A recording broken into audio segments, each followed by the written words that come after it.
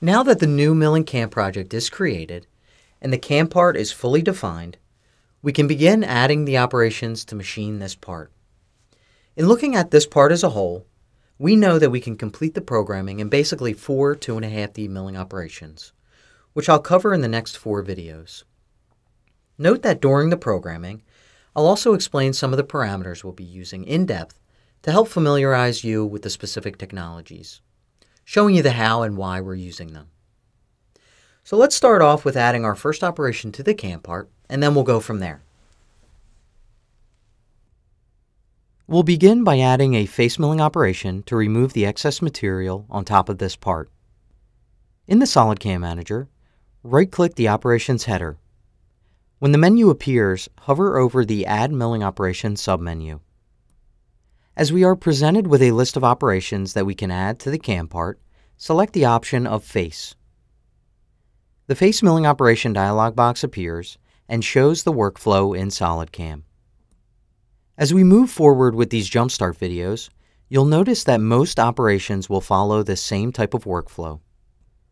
In the operation dialog box and moving down the tree, we'll first define the geometry, followed by creating and choosing a tool, picking the milling levels, defining the type of technology to use, and finally choosing the lead in and lead out tool movements on the link page.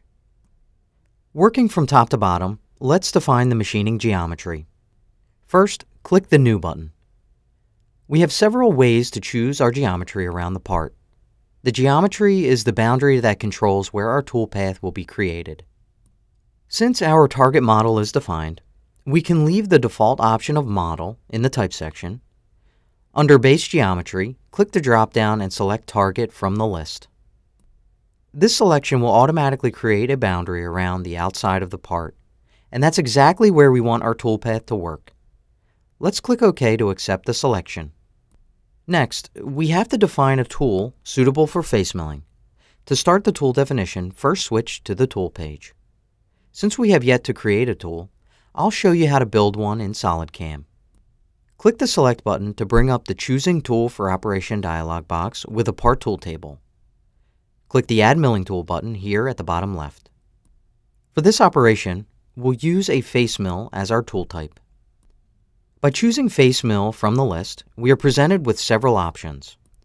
For this series of Jumpstart videos, however, we're only going to focus on two of the tabs for right now. They are Topology and Tool Data. The topology gives us control over the physical dimensions of the tool. As you can see here on the left, we can easily switch between metric and standard units of measurement when entering tool values. Let's leave the default units, millimeters. For this operation, enter a value of 100 millimeters in the diameter field. You can also set things like corner radius, arbor diameter, total length, outside holder length, and cutting length. For this example, leave the remaining default tool parameters and switch to the Tool Data tab. Here we can control our feeds and speeds. We'll use the default values, which give us a feed XY of 100 millimeters per minute and a feed Z of 33 millimeters per minute. Our spin rate will be 1000 RPMs in a clockwise direction. Now, we can click Select to accept the tool definition and to also choose the tool for the operation. Looking at our workflow, next on the tree is the Levels page. The first group we'll look at is the positioning levels. The clearance level value is pulled from the coordinate system settings. The safety distance value is pulled from the MAC file of our post processor.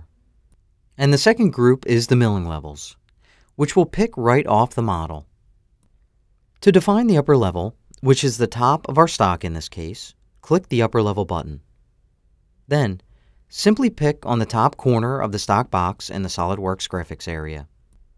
Click OK to accept the selection. Next we'll define the face depth, which represents the surface we want to machine to.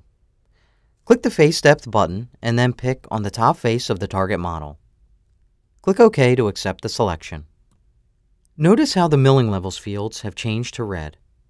This is because the values are associative to the picked entities and if the model changes, these associative values will also change. And that completes the milling levels definitions. let's now move on to the Technology page.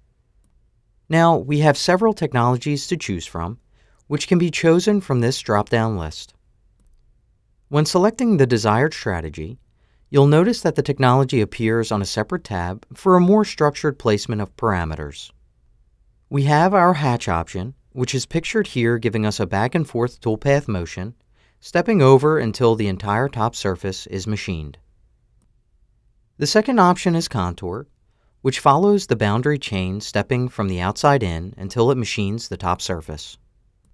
The third option is one pass. Because our tool is wider than the part, we can machine the entire face in just one pass. The last option in the list is Spiral, which chooses the machining pattern automatically. For this example, we'll use one pass. Now, let's switch back to the Technology tab for a moment. We also have the option of taking a Finish pass by enabling the Finish checkbox and adding a value to the floor offset field. For this example, however, we will not add a Finish pass. Lastly, let's switch to the link page. Having selected one pass for the technology we want to use, we only have two options for lead in and lead out.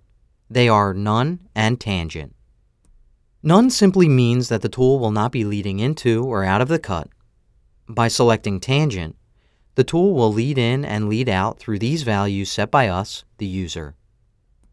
If we would like to keep our lead out the same as our lead in, we can enable the Same As Lead In checkbox and it will set the lead out equal to the lead in. For this operation, let's choose None for the lead in and lead out. Now, we can click Save and Calculate to add this face milling operation to the cam tree and calculate the toolpath. At this point, let's take a look at the generated toolpath now that the operation is calculated. By clicking the Simulate button, the simulation control panel will appear in a new window. Note that we have several different modes and available options to present our toolpath, which I'll explain later. For now, let's just quickly review the wireframe toolpath. To do that, we'll use the default simulation mode called HostCAD. Click the play button and the wireframe toolpath will be displayed on our model in the SOLIDWORKS graphics area. The generated toolpath feeds down, moves across the part in one pass, and then retracts away. Since this is exactly the result we're looking for, we can now move on to adding our next operation. To close the simulation, click the Exit button. This will take us back to the face milling operation dialog box, which we will also exit. Next up, we'll add a profile operation to our CAM part, which will get us one step closer to completing the part programming.